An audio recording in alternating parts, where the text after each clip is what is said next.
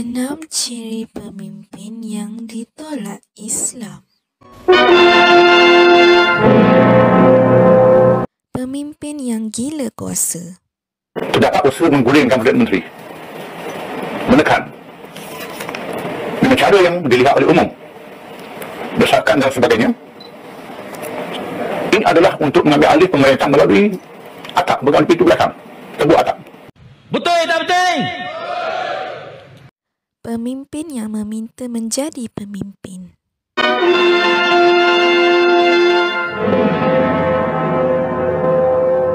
Betul tak betul? Pemimpin penipu. Saya tak bayar, PAS tak bayar. Betul tak betul?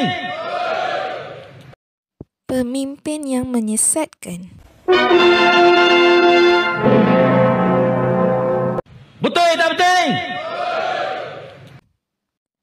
Pemimpin yang bodoh. sebagai orang Islam dia ada batas kufur dan iman. Ada ditetapkan dengan jelas batas kufur dan iman. Saya nak minta semanggul. Sabar, sabar. Nanti saya, saya, boleh boleh sambung lepas ini. Sabar. Saya nak minta semanggul ulas Islam tu apa?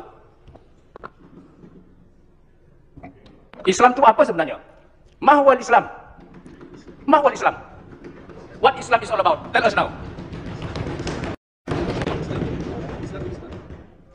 Saya rasa Antar Rais Yahya, antar Rais, antar mungkin kita saya rasa soal ni. saya rasa YBSCO sebagai YBSCO agama sepat- Hang bodoh!